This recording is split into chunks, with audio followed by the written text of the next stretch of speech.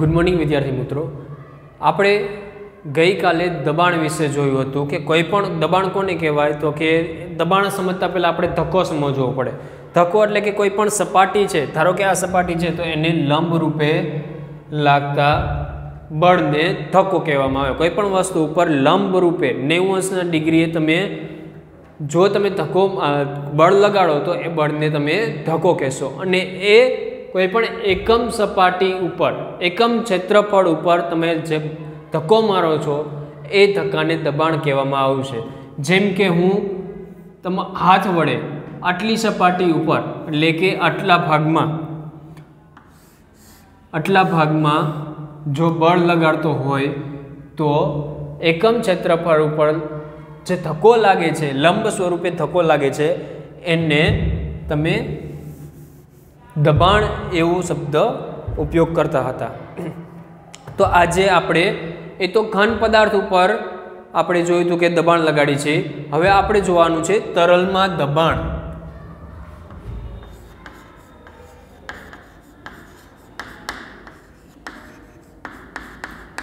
તરલમાં દબાણ સમજતા પહેલા તરલ વસ્તુ કોને કહેવાય એ સમજવી પડે. તરલ એટલે કે પ્રવાહી અને વાયુ. વાયુમાં જે હવા છે તો હવા પણ જે પણ બધી વસ્તુઓ છે, વસ્તુઓ ઉપર દબાણ લગાડતું હોય છે, આ ઉપરાંત પ્રવાહી પણ અમુક અંશે કોઈ પણ વસ્તુ ઉપર દબાણ લગાડતું હોય છે. પ્રવાહી પણ દબાણ ધરાવે છે.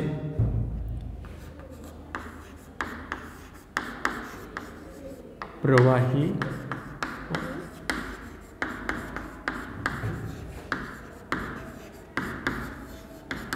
પ્રવાહી પણ દબાણ ધરાવે છે. જેમ કે પાણી છે.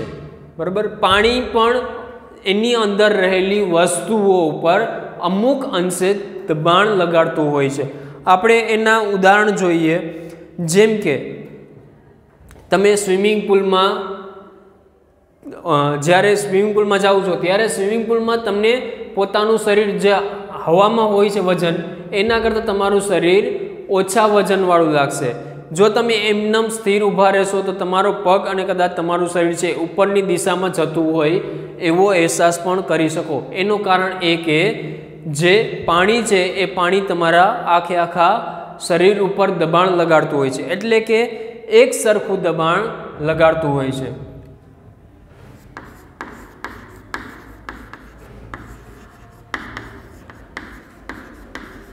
એક સમાન અને બધી દિશામાં સરખું દબાણ લગાડે છે. એટલે કે તરલ કોઈ પણ વસ્તુ છે, જેમ કે આપણે પાણી ભરેલી બોટલ રાખી દઈએ, તો પાણી ભરેલી બોટલ છે, તો એની અંદર જે પ્રવાહી રહેલું હોય, એ પ્રવાહી આ બોટલના અંદરની બધી સપાટી પર એક સરખું દબાણ. એક તો બધી દિશામાં, ઉપર, નીચે, સાઈડમાં બધી દિવાલ ઉપર દબાણ લગાડશે. એ દબાણનું મૂલ્ય પણ સમાન હશે અને બધી દિશામાં એક જ સરખું મૂલ્યનું દબાણ લગાડતું હોવું જોવા મળશે. એટલે કે તરલ, એટલે કે કોઈ પણ જાતનું પ્રવાહી છે, એ સમાન મૂલ્યનું અને બધી જ દિશામાં એક સરખું દબાણ લગાડે છે. આવા હવે આપણે અમુક ઉદાહરણો જોઈએ. જેમ કે પ્રવાહીમાં કોઈ પણ જહાજ છે, તરી શકે છે. બરાબર? આ ગઈકાલનું ઉદાહરણ આપણે જોયું હતું કે એમના આકારના કારણે થઈને પ્રવાહી ઉપરની દિશામાં, પાણીની ઉપરની દિશામાં તરી શકે છે. આ હતું તરલમાં દબાણ કે તરલ પણ અમુક પ્રકારે દબાણ ધરાવે છે. હવે આ તરલનું દબાણનો ઉપયોગ કરીને આપણે એક બીજો મુદ્દો પણ સમજવાનો છે. જેને કહેવાશે ઉત્પ્લવકતા. ઉત્પ્લવકતા કોને કહેવાય અને ઉત્પ્લવકતા એટલે શું? અને ઉત્પ્લવકતાનો ઉપયોગ શું છે? આ બધી વસ્તુ આપણે શીખવાની છે. તો એના પહેલાં આપણે અમુક ઉદાહરણ જોઈએ. તો કે સ્વિમિંગ પુલ. સ્વિમિંગ પુલમાં વજન. પહેલું ઉદાહરણ છે. સ્વિમિંગ પુલમાં વજન.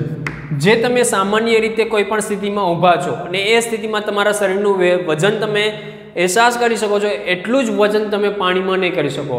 તમે તમારા શરીરનું વજન છે પાણીમાં તમે ઓછું હોય એવો તમે અનુભવ કરી શકશો. તો આ થયું પાણીમાં વજન. પછી છે કૂવામાં પાણી ભરેલી ડોલ.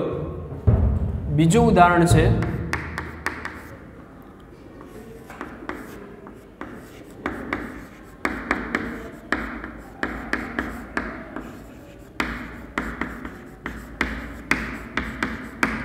કૂવામાં પાણી ભરેલી ડોલ હવે જ્યારે તમે કોઈ પણ ટાંકામાં અથવા તો કોઈ પણ જે પ્રવાહી ભરેલું હોય, એમાં તમે ડોલ ભરો છો. ડોલ ભરતી વખતે જ્યારે તમે ડોલ પાણીની અંદર હશે અને તમે ઉચકતા હશો, ત્યારે ડોલનો વજન તમને ઓછો લાગશે. જ્યારે એ જ વજન તમે જ્યારે ડોલને બહાર કાઢી લેશો, એટલે કે સંપૂર્ણ રીતે ડોલ છે પ્રવાહીની બહાર આવી જશે, ત્યારે ડોલનું વજન વધારે લાગશે.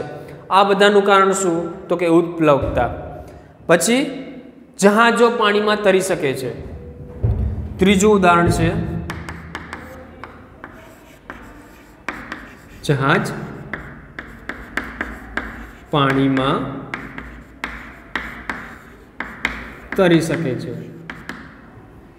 જો આના માટે બે કારણ છે, કે પ્રવાહી દબાણ ધરાવે છે, એ પ્રવાહી કોઈ પણ વસ્તુ ઉપર દબાણ લગાડતું હશે બીજી વસ્તુ, એમનો આકાર. આ બંને વસ્તુ ભેગી થઈને જહાજ છે પાણીની ઉપર તરી શકતું હોય છે. તમે એમનેમ સામાન્ય રીતે જે જહાજના અલગ અલગ લોખંડના પાર્ટ્સ હોય છે અને પતરા હોય છે, એ તમે પાણીમાં નાખજો, એ ડૂબી જશે.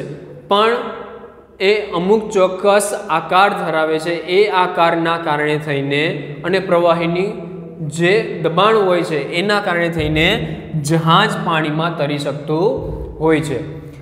હવે એક પ્રવૃત્તિ આપેલી છે.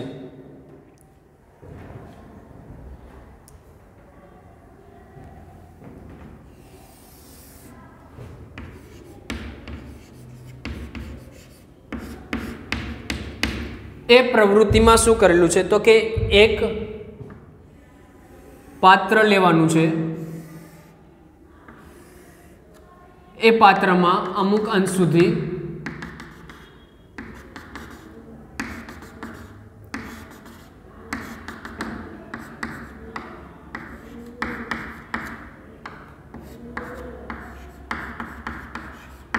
એ પાત્રમાં અમુક અંશ સુધી તમે પાણી ભરી દો હવે એ પાણી ભરેલી બોટ છે, એમાં તમે જે કોઈ પણ પ્લાસ્ટિકની ખાલી બોટલ એની એને હવા ચુસ્ત રીતે બંધ કરી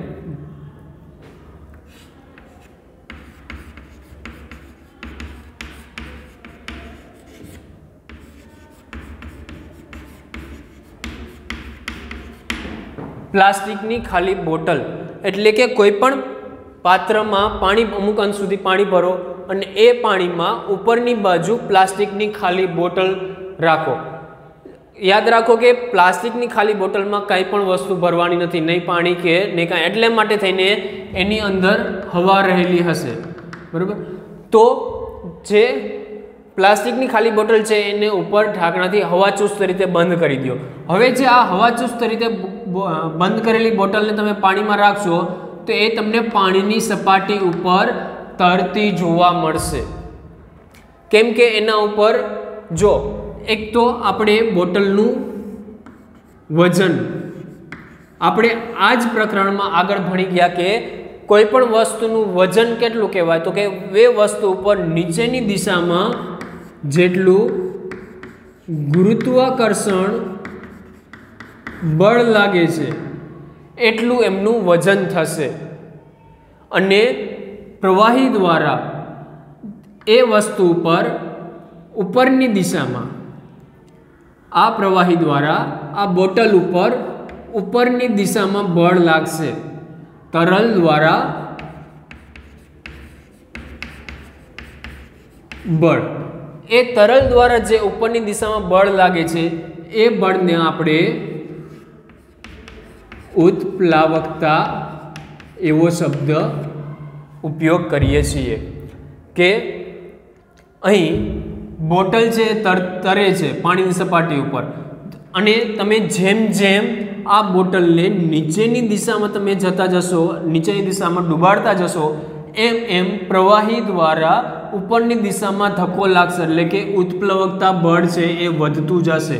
અને જેમ જેમ તમે પ્લાસ્ટિકની બોટલ પ્રવાહીની અંદર નીચે ડૂબાડતા જશો, એમ એમ તમને વધારે બળ આપવું પડશે. અને વધારે બળનો ઉપયોગ કરીને નીચેની દિશામાં ધક્કો લગાડવો પડશે. તો આ અનુભવ એવું થશે કે જેમ જેમ નીચેની સપાટી ઉપર જતા જશો, એમ એમ તરલ દ્વારા ઉત્પ્લવકતા, એટલે કે ઉપરની દિશામાં ધકેલાતું બળ એ વધતું જશે. જો અહીં કોઈ પણ પદાર્થ છે, અહીંયા, જો ઉત્પ્લવકતા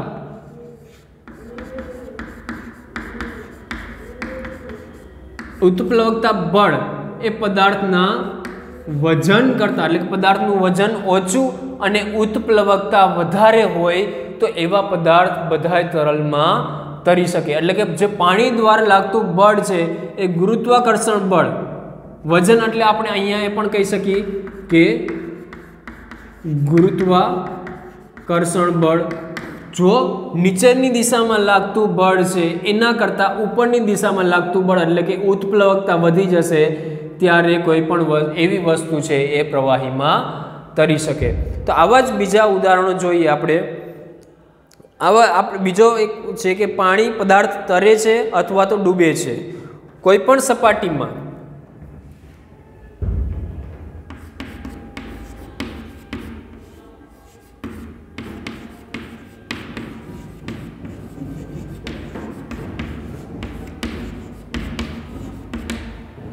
કોઈ પણ પદાર્થ તરે છે અથવા તો ડૂબે છે, એ નક્કી કઈ રીતના આધાર થાય તો જે રીતના આપણે અહીંયા જોયું.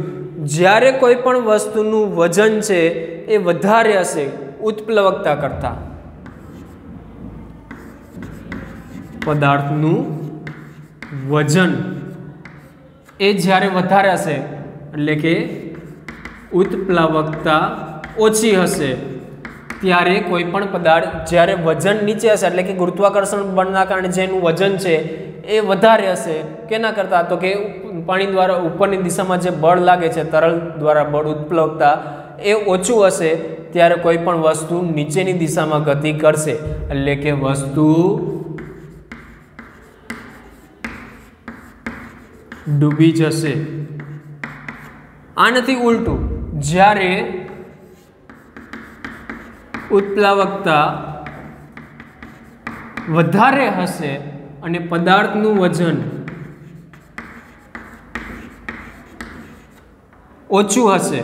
જ્યારે ઉત્પ્લવકતા વધારે હશે અને પદાર્થનું વજન ઓછું હશે, ત્યારે વસ્તુ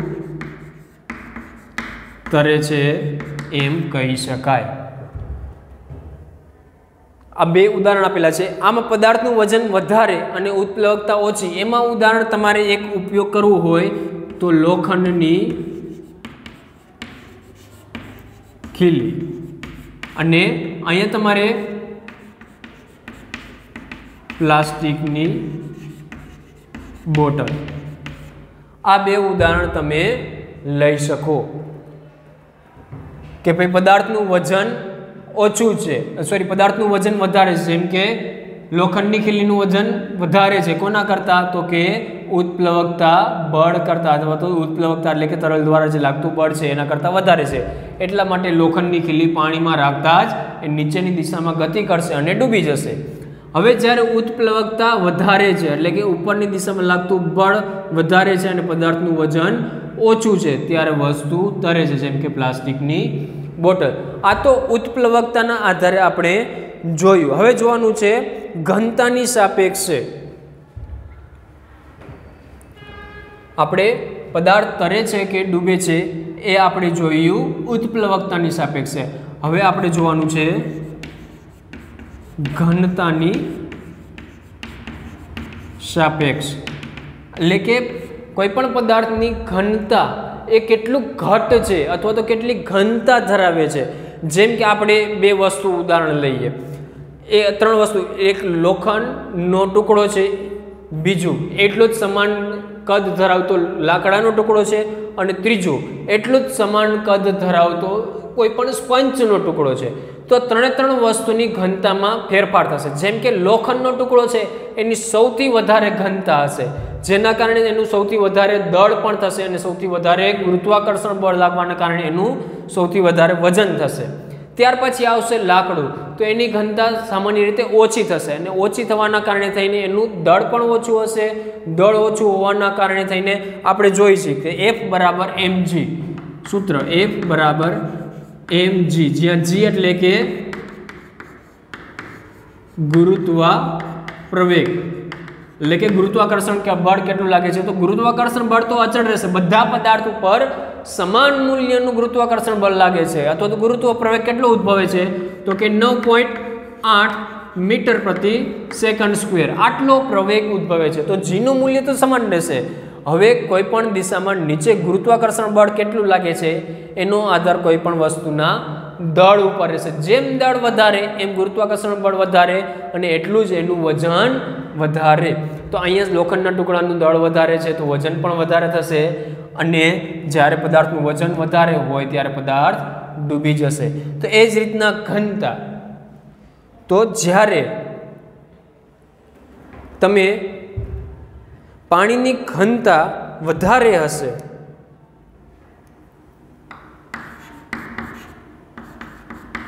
પાણીની ઘનતા વધારે હશે. કોઈ પણ વસ્તુની ઘનતા ઓછી હશે. ત્યારે પદાર્થ તરે છે. એટલે કે જ્યારે પાણીની ઘનતા જે વધારે હશે એની ઉપર રાખેલા બીજા કોઈ વસ્તુની સાપેક્ષમાં. અહીંયા તમે એવું ઉદાહરણ પણ લઈ શકો. તેલ અને લાકડું. તેલ અને લાકડાની ઘનતા છે, પાણીની ઘનતા કરતાં ઓછી છે. એટલે કે વસ્તુની ઘનતા ઓછી છે. એટલા માટે થઈને તેલ અને લાકડું છે એ પ્રવાહી ઉપર તરી શકે છે. જ્યારે તમે વસ્તુની ઘનતા એ વધારે હશે જ્યારે પાણીની ઘનતા ઓછી હશે ત્યારે વસ્તુ ડૂબે છે. જેમ કે અહીંયા તમે લોખંડ લઈ શકો, લોખંડનો ટુકડો. લોખંડનો ટુકડો છે, એની ઘનતા વધારે હોય છે. પ્રમાણમાં જે મોટાભાગના ધાતુ હોય છે, ધાતુની ઘનતા વધારે હોય છે. એટલા માટે થઈને અને પાણીની ઘનતા એની સાપેક્ષે ઓછી હોય છે. એટલા માટે થઈને એ વસ્તુ નીચેની તરફ ગુરુત્વાકર્ષણ બળ વધારે લાગે છે અને એનું દળ પણ વધારે હોય છે. એટલા માટે થઈને એ વસ્તુ પાણીમાં ડૂબી જાય છે. તો આજે આપણે શીખા કે તરલ પણ દબાણ ધરાવે છે. એટલે કે કોઈ પણ પ્રવાહી પણ દબાણ ધરાવે છે અને બીજી વસ્તુ ઉપર દબાણ લગાડે છે. જેમ કે અહીંયા પ્લાસ્ટિકની બોટલની ઉપર, ઉપરની દિશામાં દબાણ લગાડતું હોય છે. તો એને ઉત્પ્લવકતા કહેવાય છે. તો ઉત્પ્લવકના, ઉત્પ્લવકતાના આધારે કોઈ પણ વસ્તુ કઈ રીતના તરી શકે અને કઈ વસ્તુ કઈ રીતના ડૂબે છે એ જોયું અને ઘનતાની સાપેક્ષે કોઈ પણ વસ્તુ કઈ રીતના ડૂબી શકે અથવા તો તરી શકે એ પણ આપણે જોયું. તો આજે આપણે અહીં સુધી રાખી. આવતા પીરિયડમાં આપણે આર્કિમિડીઝનો સિદ્ધાંત વિશે ભણશું. Thank you